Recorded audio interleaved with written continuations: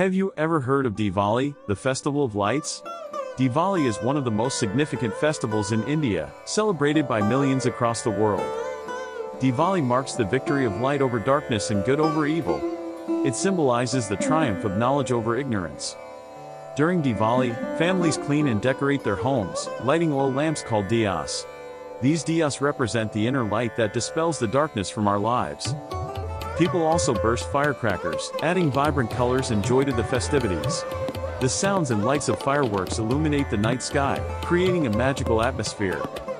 Diwali is a time for family and friends to come together, sharing delicious food and exchanging gifts.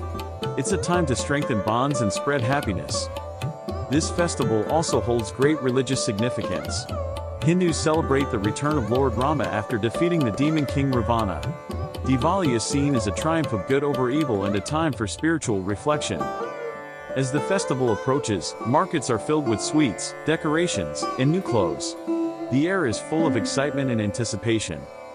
Now that you know about Diwali, join us in celebrating this beautiful festival. Spread the light and love, and may your life be filled with happiness and prosperity. Thank you for watching our video. Don't forget to subscribe to our channel for more cultural insights and celebrations. Happy Diwali!